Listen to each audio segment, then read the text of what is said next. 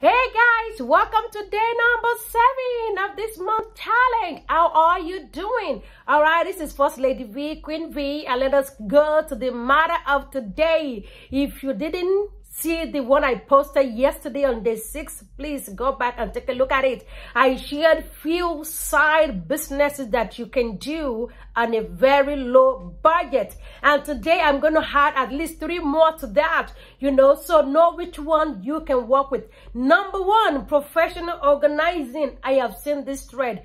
Actually, uh, not so long ago, I invited a lady to my place, uh, to my house to really see what she can do oh my god. I mean it was pricey but by the time she was done it was beautiful. I love it. So if you are someone who is very creative you very organizing you love structure all right you can actually do this. I mean it has become a trend since covid. So dive into that. Professional organizing organizing homes closet bathrooms kitchen pantry the list goes on and on Number two, it can be an event decorator. Yes, you know, for a whole year, 2020, a lot of businesses, I mean, a lot of people cannot do, you know, their party, 50 year, 50 uh, birthday, you know, all of those things, things were postponed indefinitely, even marriage. Some things were done online via Zoom, you know that. But now, in my place in Houston, a lot of events, I'm telling you,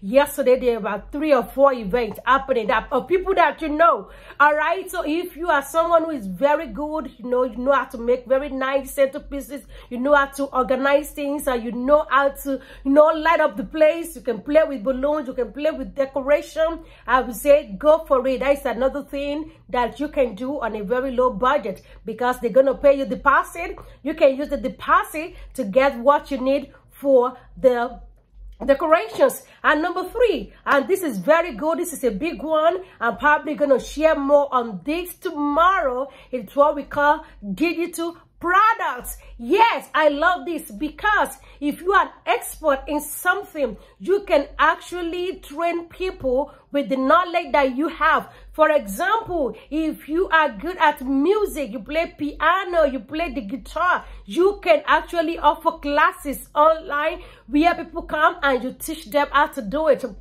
I took a course, not a course. Actually, I was part of a class. We did online painting. It was beautiful. Me that had no experience with painting, but this lady walked us through the process, what we needed to get ahead of time. I got my things different colors.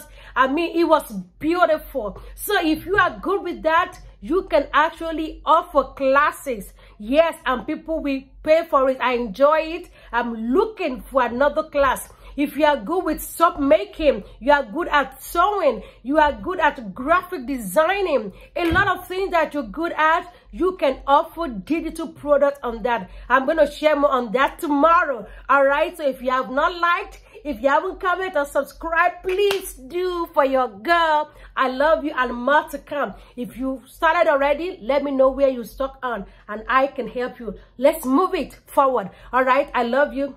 Have a beautiful, beautiful day.